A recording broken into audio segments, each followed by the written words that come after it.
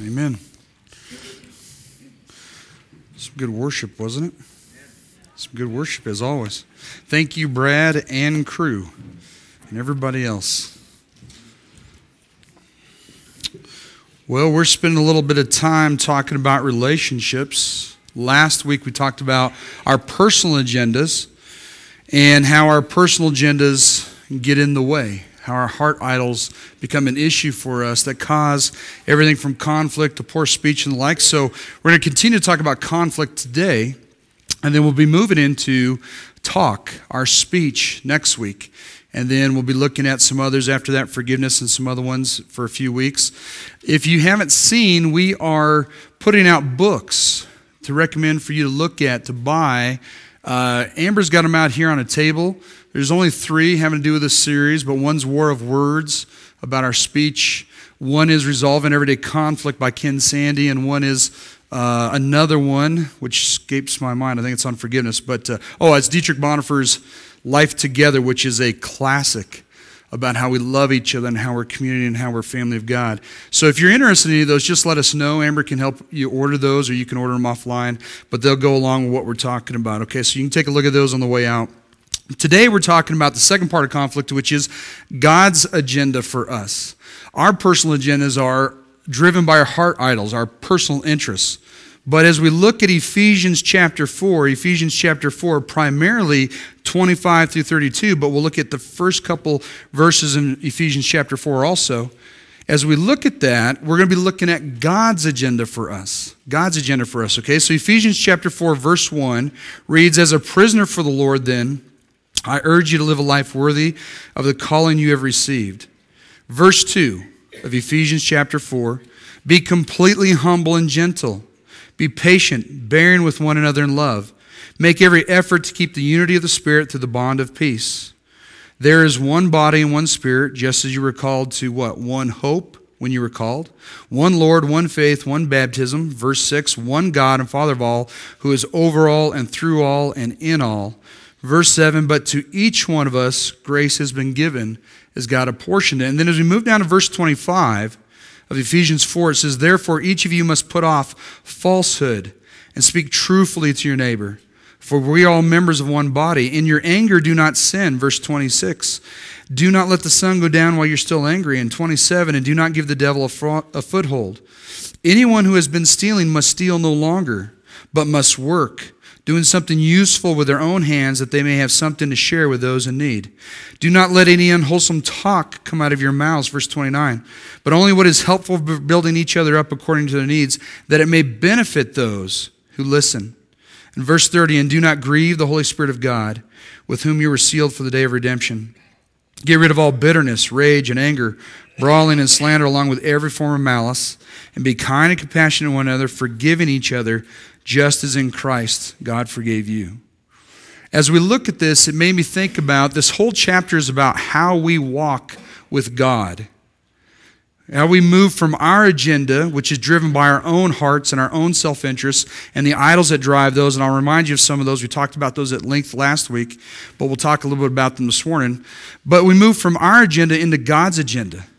And our agenda causes a lot of conflict between us and other people intimate relationship, friendships, co-workers, peer relationships, people in the community and the like. And what God's talking about, he's talking about us moving from one way of walking in our own flesh into a new way of walking in the Holy Spirit. That's what chapter 4 of Ephesians is about. And so it's moving from our agenda, our personal agenda, onto God's agenda. It's a different way of walking. When I was thinking about how we walk and what that matters, I thought about a lot of different things, but the one that came to my mind that was the greatest analogy of this is this. If you've ever gone to Washington, D.C., and you visited the Tomb of the Unknown Soldier, have you ever seen the changing of the guard there? If you don't know the 3rd Infantry Regiment, of the United States Army, its sole task, its only purpose for existing is to guard Washington, D.C., and in particularly Arlington, and even more focused, the Tomb of the Unknown Soldier. And so, out of that entire big regiment, which is armed, fully armed, fully capable of defending the city, out of that regiment, there's a small group of men that are the best of the best of the best.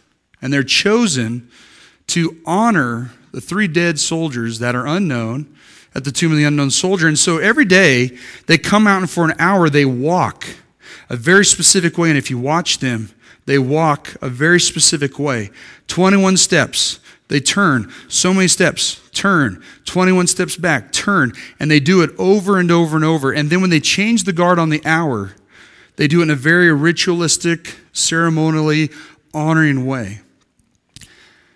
They are graded on that walk. So they practice it for months as a new guy coming into that group.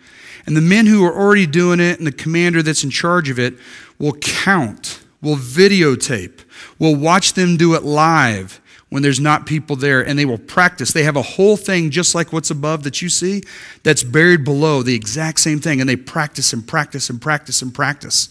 And if it snows six feet, they will be out there, the same walk, the same path, the same number of steps, the same everything.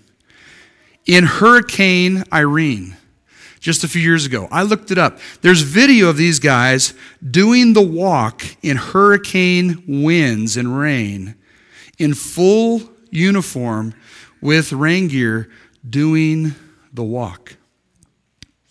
What it means is that if you belong to that honor guard, your sole purpose for existence as a soldier is to honor all the unknown soldiers that have honored us with their sacrifice.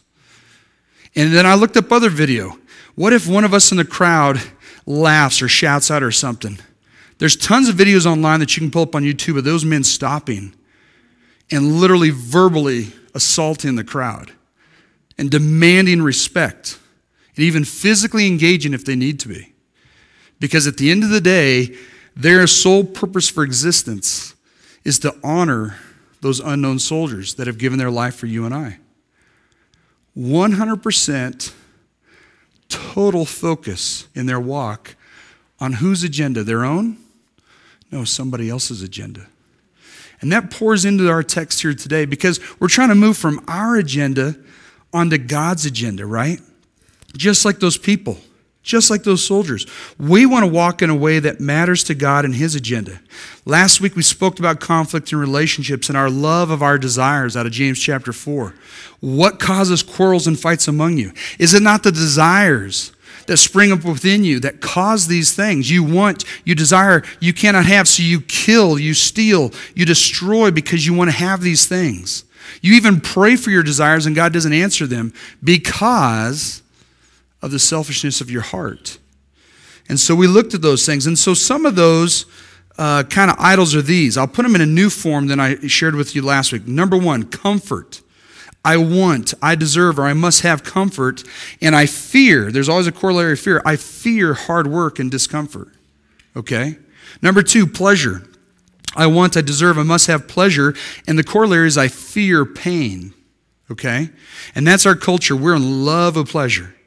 Recognition I want, deserve, and must have the approval of others, or I'll be devastated and I fear being overlooked or dismissed. Recognition. Power and control. I want, deserve, and must have power and control over my environment and over other people. You ever heard, you ever worked with somebody like that? I know you have. Probably have somebody in your family. And others are I who will be able to survive, right? I fear being told what to think or do, and I fear unpredictability power and control. And the final heart idol is acceptance. I want, deserve, and must have others' acceptance, and you are responsible to give it to me. I fear rejection and disappointing other people. And so these, these heart idols that we have in our flesh, in our sin, they drive us, James chapter 4 said last week. They drive us to seek out our own self interest and they're our agenda and we don't know about them. They're closet, right? They, they spoil our relationships. They, they kind of live underneath the surface and they kind of bubble up at the last minute when you don't know they're going to happen, right? Here you are interacting with your spouse and everything's great. And all of a sudden, out comes Mr. Ugly, right? You wives have never seen that, right? You've never seen that all of a sudden out comes Mr. Ugly because these heart idols that we hold on to and don't think about, they're driving that behavior, right? My desires drive my interactions, consciously or unconsciously, and my relationships are, are pitting my interests against the interests of other people and against the interests of God. And that's what we looked at last week. That's my personal agenda. And worse yet, the more satisfying the relationship, the closer I am, the more intimate to another person, the less conscious I am of those heart idols, those self interest driving my interactions with them, right? That's a truth you got to think about and you just got to write down. The closer I am to somebody else, the more those heart idols get in the way of the relationship. Because we often think, hey, I'm, I'm very close to my spouse, I'm very close to my kids, I'm very close to my brother or my coworker or whatever else, my family member. That should be the best, most satisfying relationship. And then we are disappointed at the heartache and the pain that comes in that relationship because our heart idols come out the most, right? Because we feel safe with them. We feel like everything's great in that environment. And we feel like the best is going to come out, but that's when, when sin snaps. and It rears its ugly head, and out comes Mr. and Mrs. Nasty. Our personal agendas. But Paul is going to tell us to enter into God's agenda in Ephesians chapter 4. He calls us into relationship with Him, God does, and simultaneously to engage in relationship with other people within the body of Christ, right? We are His family, so we're going to struggle. When you say, I have difficulties in church, I love hearing this as a pastor. Why do you not go to church? I don't go to church because this church hurt me, or I had this problem with this church, or how these people hurt me. And that's legitimate. That's legitimate. But what I want to say to people sometimes is this did you not have the same problem in your family growing up? Did your siblings not punk you? Because my older brothers punked me. Even my sister, she kicked my teeth in sometimes, okay? She was tougher than all the boys. Okay? Sometimes they loved me and blessed me, and sometimes they punked me and put me down for their own self interest. That's how a regular family is. The body of Christ is no different. In our flesh, not submitted to the Holy Spirit, we're going to have those things happen in our relationships. So we're going to try to move on to God's agenda, Paul says, right? In chapter 4 of Ephesians. As his family, we're going to struggle with each other. Like a husband and wife struggle or a sister brother, right? But when we're struggling with our husband or wife, we ought to be thinking, and when I'm struggling with my wife, that's my sister in the Lord. I'm struggling with a fellow sister in the Lord. When I struggle with my kids, I'm struggling with a younger brother or sister in the Lord because they know Christ. When I struggle in those relationships, it's normal and natural. It isn't good, it isn't godly, but it's normal and natural. And so if we adopt this mindset that's going to be part of life, that conflict, and look for the hidden agendas, then we can start to do something with it, okay? So Paul's going to tell some things, some practical things. Last week was the conceptual, this week's more the practical. First thing Paul's going to tell us is consider the prominence of unity. God cares more about our unity with each other than he does about us being right or wrong, right? Chapter 4, verse 1. Paul says, I urge you to live a life worthy of the calling that you received, right? We've received this from Lord. Be completely humble, gentle, patient, bearing one another in love. Make every effort, verse 3, to keep the what? The unity of the Spirit. The unity of the Spirit through the bond of peace. And then Paul goes into this diatribe that we're one body, in one spirit, one this, one that, one, one, one, one, one. And Paul's going to point out that God's agenda is different than our agenda. His agenda is that we have unity, harmony, and peace even in the struggle because the greater picture for the good of the glory of God is us being one. Now, that's different than what you and I want, right? I'll tell you what, it's different than what I want. I'd like you guys to do it my way, right? I mean, that's the sin in my soul right? But God's agenda in verses 1 through 7 is that unity is more important than right or wrong, right? Remember, last week I said our identity and what we worship determines everything for us, right? Who we are, who we belong to, as well as what we put in first place, determines what our heart matters most. Where your heart is, where your treasure is, there your heart is, Jesus said. Matthew 6 21. So, if I make sure that I put myself thinking about my identity, and what I worship, okay? So I want you to write down these two things. Whenever you're struggling in relationships, number one, what is God's design and purpose for the relationship? Number two, why does He allow me to be in this relationship? To fulfill that design and purpose, okay? So, first of all, verse 1, it says, Live a life worthy of the calling you've received. It says in verse 7 that his grace has been given to us, right? And that grace is to make us his children of God. It means that we are adopted into the family of God. The whole book of Galatians is about our adoption from being sinners lost forever to hell and away from God to now being part of God's family and being adopted into the family of God. That's the entire book of Galatians is about. Its underlying theological theme is adoption. And we've now, as we belong to God, we need to live a life worthy, verse 1 says, of the calling that we have received. What is that calling? To be His kids to be his children. My wife is adopted. She's very open about that, so it's easy to talk about it. Her parents are the parents that raised her, who adopted her, who loved her. Her brother's adopted too. Now, she's biologically from a nurse and a mechanic and this, that, and the other, but that's not her parents. That's not her mom and her dad. She's been adopted into the Kincaid family, and so my wife's identity is she is, or was, before she was a Teal, a Kincaid, right? She's a Kincaid. And she takes upon the mannerisms of her family. Watch her with her mother, my mother in law. It's like twins. They look nothing alike, but they act totally the same.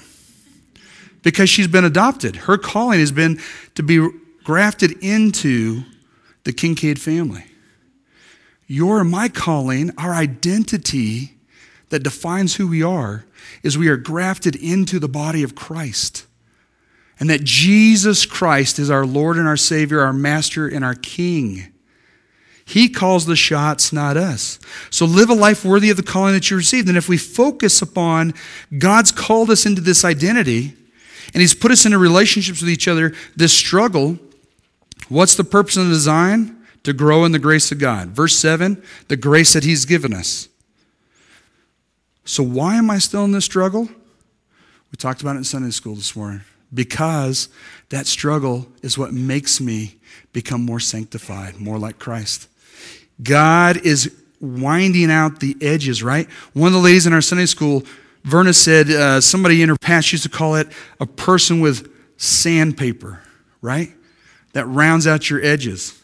So I said to Vern, I said, what about the dude with a chainsaw that cuts you in half? All right? You ever had those kind of personalities you deal with? They're not sandpaper. They're not a skill saw. They're a rip saw that seems to take you right down to the core. But God allows us to be in those struggles. And what's He do? At verse 7, it says, But to each one of us grace has been given as God has apportioned it. He allows us to be in that struggle so that we will encounter Him and more cups of His grace to become more like his son. That's not fun, but that's real life. That's what God's purpose in the struggle is all about, right? 2 Peter 1, verse 3 through 4. His divine power, God's, has given us everything that we need for a godly life.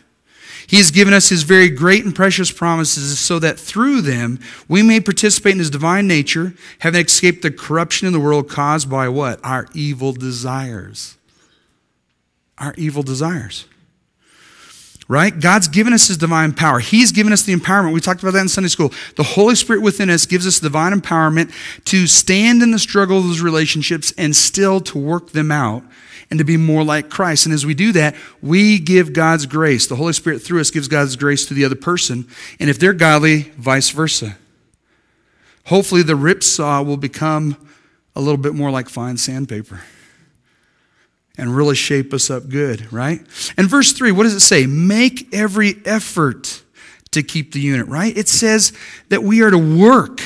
We're supposed to do something. We're supposed to put out effort. I hear from people all the time, why doesn't God just heal this relationship? Magic, hocus pocus. Ty is very good at that. He's phenomenal at that. Jesus doesn't do that. He makes us work out our salvation in the struggle. Make every effort. God's agenda is peace, harmony, mutuality, unity, togetherness. My self interest gets crucified at the cross for Christ's interest. Did you hear that? I give up my self interest, it gets crucified at the foot of the cross for God's interest, which is other people. And that's what it means to be a disciple of Christ, right? 1 Peter 1 5 says the same thing. In that, we're talking about those, he says, make every effort, right after he talks about the divine nature. Isn't it interesting that Paul and Peter, under the inspiration of the Holy Spirit, say the exact same thing in two completely different books, having never talked about that? Paul says, make every effort. Peter says, make every effort. Very interesting in that 2 Peter 1 5. The same words are used in the Greek. Work out your salvation with fear and trembling, is how it's put in Philippians, right? God gives us the spiritual tools to get the job done if we'll focus on our own sinful souls. So we need to get busy. We need to get busy. We need to help ourselves before we help somebody else. How many of you have ridden in a commercial airplane? Yeah, all right. It's nice. Commercial airplane. God's gift to kill my soul. Okay, I hate flying. It makes me crazy. All right? I love the takeoff, which most people hate. I love the landing. You know why I love the landing? I don't care how bad the landing is. You know what it means? I am on the ground. Praise God. I'm on the ground where man was supposed to be. If we were supposed to fly, I'd be Superman. Okay? But when you fly, you got all these natural things, and I psych myself up. We're flying, all everything's good. But I love the beginning of the flight. These beautiful, wonderful, good looking stewards and stewardesses, they come out and they tell you everything that can kill you. And they say, if we crash land in the water, Mr. Teal, can you pop off that door? Do you think you're big enough, strong enough? Girl, I'm going to kick that door out. We're out of this plane, okay? I've told them that a few times. And then I put my son next to me. Do you think we can handle this? I think so. Okay? Then they say, well, but this is the interesting part. They say, if somehow something happens to rupture the hull, the hull will depressurize, the plane will depressurize. And then they'll drop these wonderful, cute little things that are braise orange or, or yellow that are called oxygen masks, right? So you can breathe. All right, this is getting a little bit better. But what I think is interesting in that, they say, if you're with a child, which we were when we were going to Orlando a few weeks ago, if you're with a child, put the mask on your child first, right? No. They say what it sounds like throw your kid under the bus. Put the, put the mask on yourself, then you help your kid. So I asked the stewardess after one of these flights, I said, What's the deal with that? You know, it sounds weird. I don't know what you're thinking, but as a parent, it sounds weird. She said, It's very simple, Mr. Teal. In depressurized situations of extreme stress, you will go without oxygen very rapidly. And if you pass out, you cannot help your daughter or your son put their mask on. If they pass out while you're putting yours on, you can put oxygen on them and they will revive on their own. But if you go down, they're definitely going down. Well, now this makes a lot of sense to me. I got to put on my own mask first. Jesus is saying the same thing. Make every effort to work on your own heart idols first. Get after them, work hard, cooperate with the Holy Spirit through the scriptures, through prayer, through the body of Christ to work on your heart idols. And as you get healthier, then you can help the next guy next to you. It's all about reducing conflict by reducing self. So I'm going to ask you are we so enculturated to look after me that we forget to look to the Holy Spirit to empower us to do the work in our relationships? Is your first natural inclination that when the conflict comes up, how come that other person's not blah, blah, blah? If you're hearing that, probably a heart idol's kicked in and you're not even thinking about it.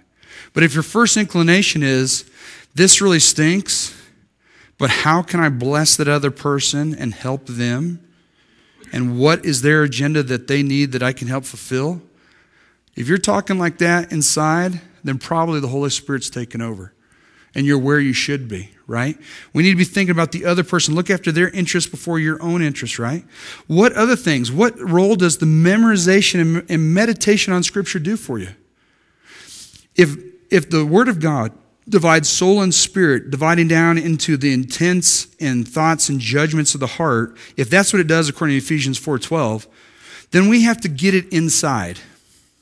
We have to spend time thinking about it, reading it, meditating, ruminating, going over it, working it into the seeps, right?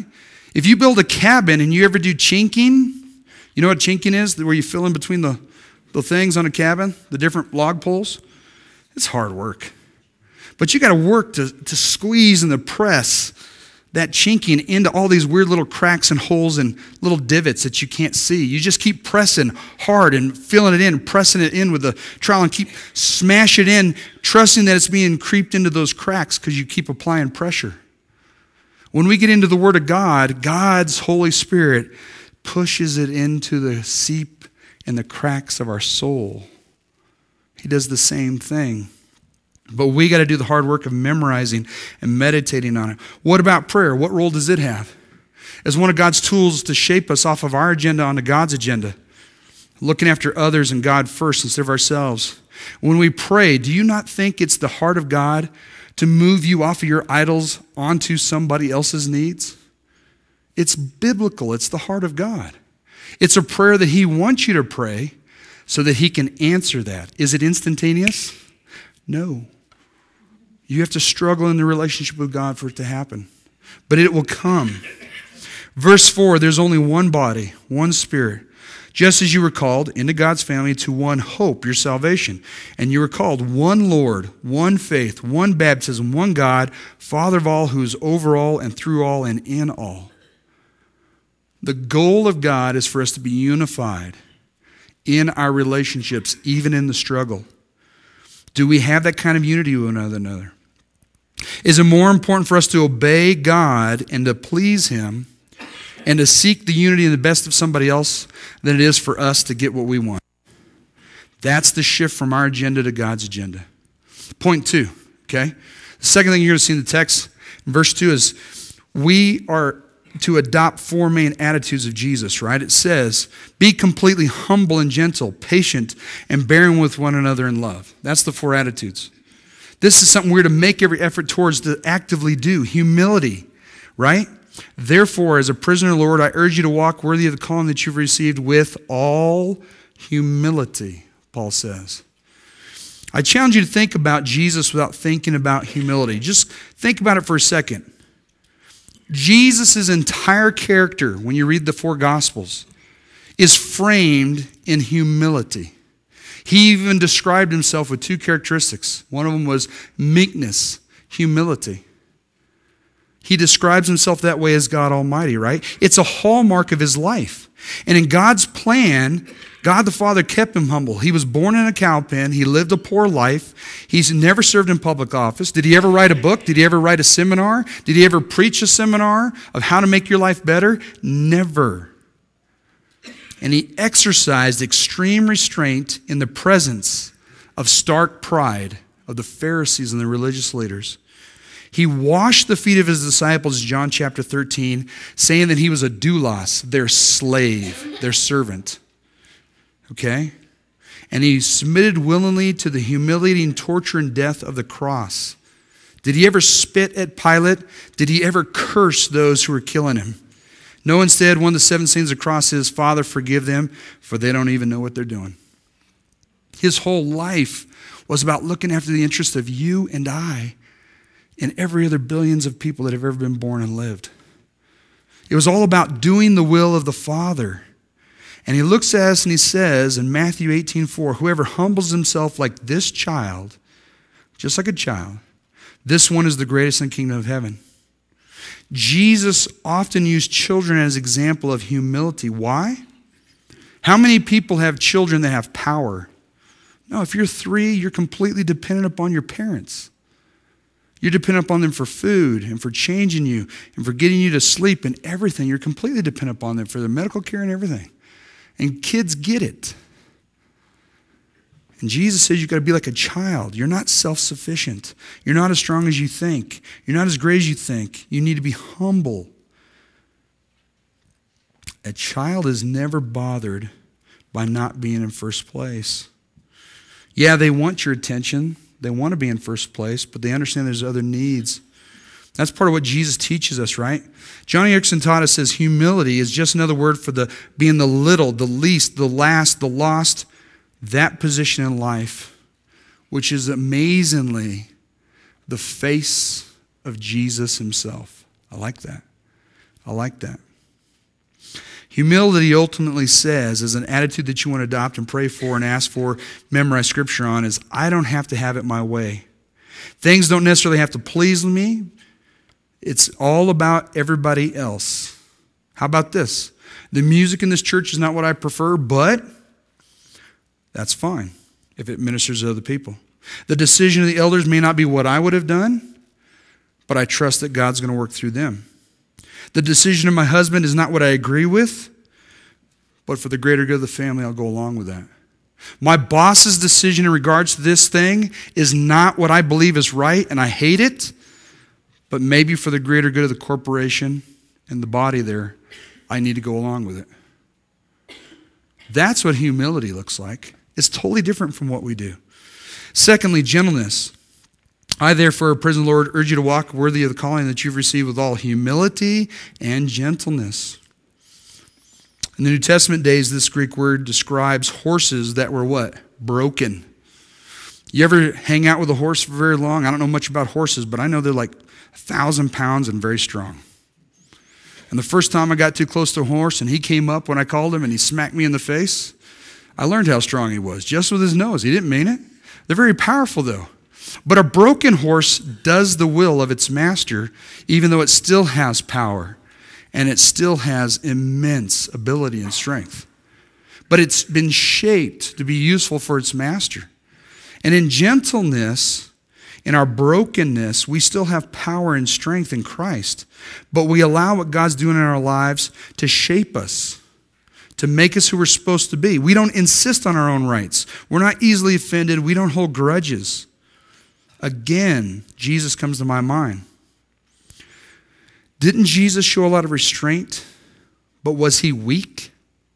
He was not weak. He was very strong, right? He was strong enough to go to the cross for you and I. He said this Who is wise and understanding among you? He should show his works by good conduct with wisdom's gentleness, right? Find it hard to believe that Jesus was weak. Is it possible for us to be very strong in our gentleness? Another way that Jesus described himself. Is it possible for us to be very strong and be gentle? Yes. You ever watch a big, strong young man who's a new father with his newborn? Immense strength of a young man and power gently holding this tiny little creature his wife's just made, holding the head, holding the neck, holding the body, cooing, loving. He's still just as strong when he goes to work the next day, but he's gentle among that child. And when we treat each other that way, it is very powerful. Very powerful. Jesus endured the cross. He despised the shame. He endured our hostility from sinners for what? So that he could purchase us. He was gentle among them, and this must be a mark of us. Three, bearing with one another, right? With all humility, gentleness, with patience, and accepting or bearing with one another in love, right? That's a powerful thing. That we bear with one another. It means that we put up with people. It means that there's messiness in the middle of the relationships, but we say it's okay for the offense of the other. It means literally to make room, to enlarge and make room for that offense that's coming. And to bear each other's burdens.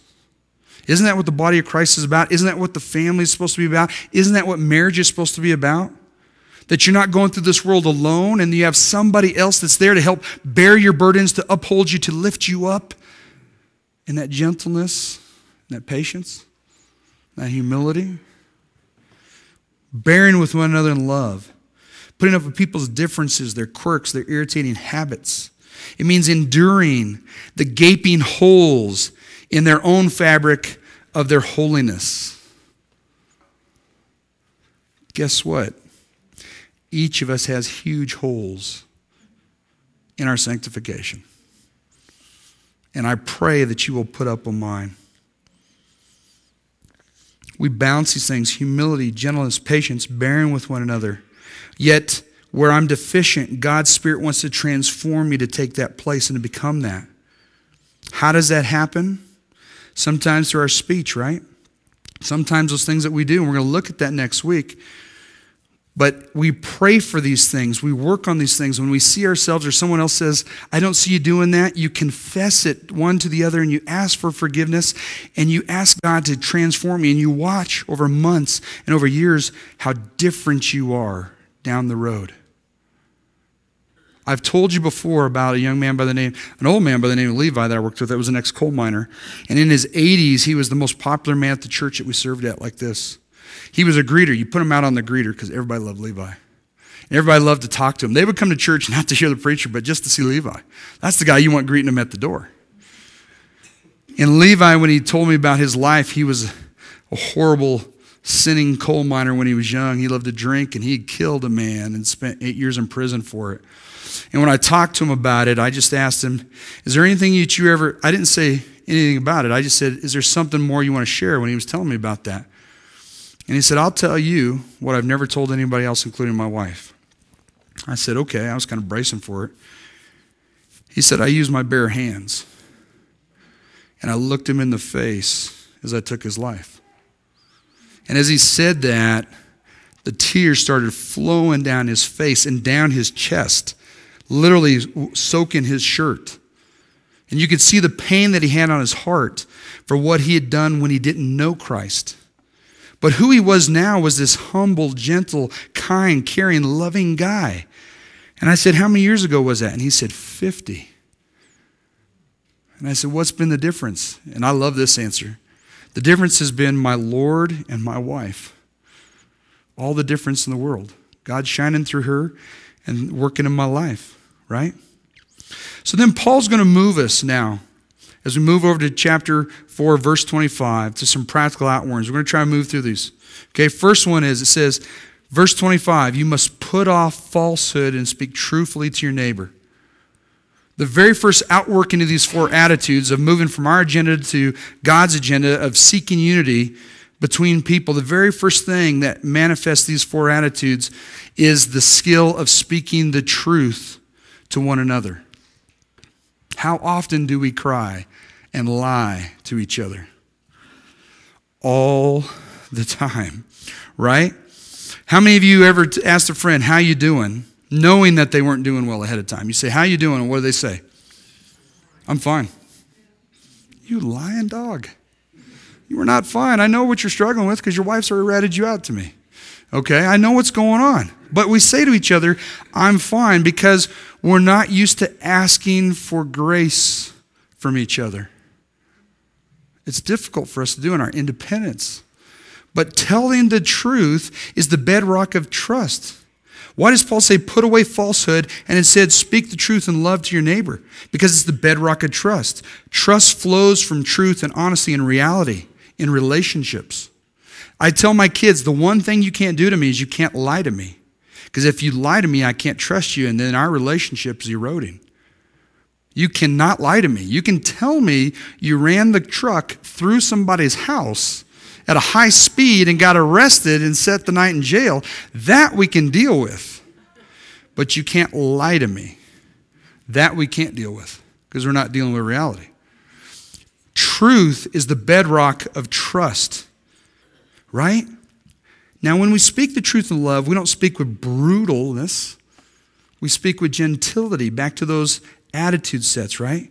With gentility. We stop. We take a moment to think about what we're going to say. Most importantly, we try to get in the other person's shoes, and we'll talk more about this next week, and we ask ourselves, how are they going to receive that? I must confess I've not done enough of that in my life at times. It's always a skill to grow in, right? How's the other person going to receive this?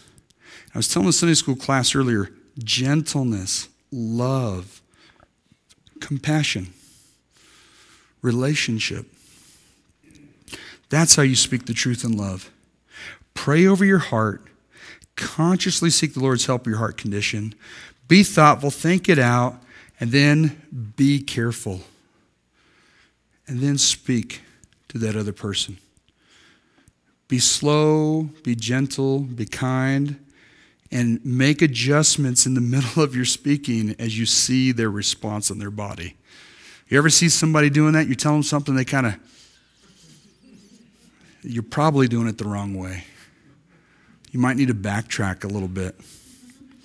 Softness leads to receptivity. John Gottman's research is one of the leading researchers in marital therapy. Great guy at the University of Seattle. He can predict if a couple five years from now will be divorced by how he watches them fight for five minutes in his lab. He's been shown in multiple studies to be able to predict 90% of the time. That's pretty good. That's pretty good. You know what he looks for? The big secret, the big clinical secret that you pay big money to go on one of his workshops as a marriage therapist look for? Soft or harsh startup.